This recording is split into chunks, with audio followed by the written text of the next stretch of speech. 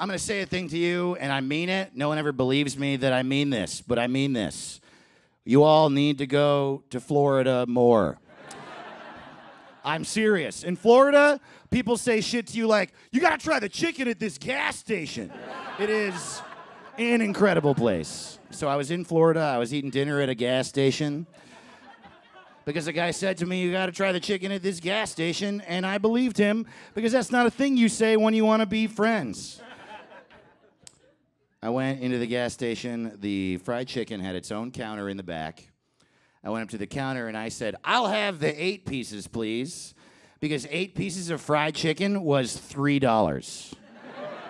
and the guy just fires right back, You want 16 pieces? It's $4. And I was like, Fucking yeah, man. I was born in America. Yes. Is 32 $5? Is 64 free for some reason? Yeah, let's fucking do this, man. So I agree to his 25 cent pieces of chicken. And then he asked me this question that I will never forget for the rest of my life. He goes, You want wings or big chicken? What? what are you talking about? What are you talking about? I've ordered chicken so many times. I don't pick that. You pick that. It comes in all kinds of shapes. I pick what? Also, those are such extremes. You want just frosting or more cake? What? I don't know.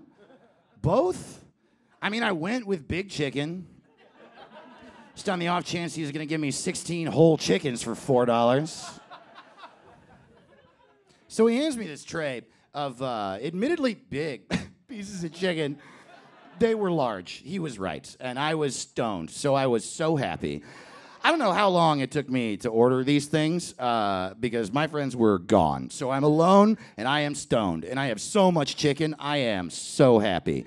And I start walking out of the gas station just singing to myself, chicken, chicken, chicken, chicken. so happy. And then my happiness was taken away by the introduction of a character that we will call Tweaker.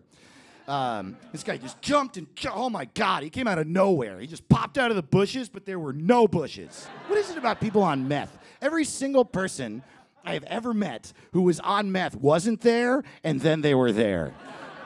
Every single person. This guy jumps right in front of me and goes, Give me your chicken. Dude, I fucking hate confidence in adults. I cannot stand it. How did you get this way? You know what I'm talking about? These people that just go through their life like, yeah, what's up? I'm fine. I got enough money. I don't question my friendships. Fuck you. Everything's fine. Go to hell. That's what this guy was like. Give me your chicken. So confident. I literally, it took me 10 seconds to realize I didn't have to give it to him. I thought I had to. I was just like, what is, is there some weird leaving the building tax? Is that why there's so many pieces for so little money? You're going to lose 75% of your chicken to Bill in the front there. So buy 16 because you are getting four. And you know, I got picked on in high school. So I was like, be brave, Dave. You never stood up for yourself. Stand up for yourself now.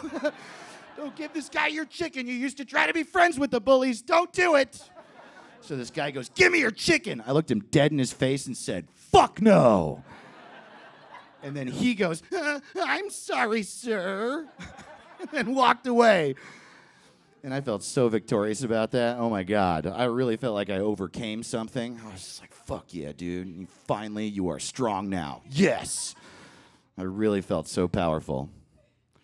Anyway, that's the story of the time I refused to give food to a hungry person, then threw 13 pieces of chicken in the trash. yeah. High school just never stops coming at you. You know what I mean?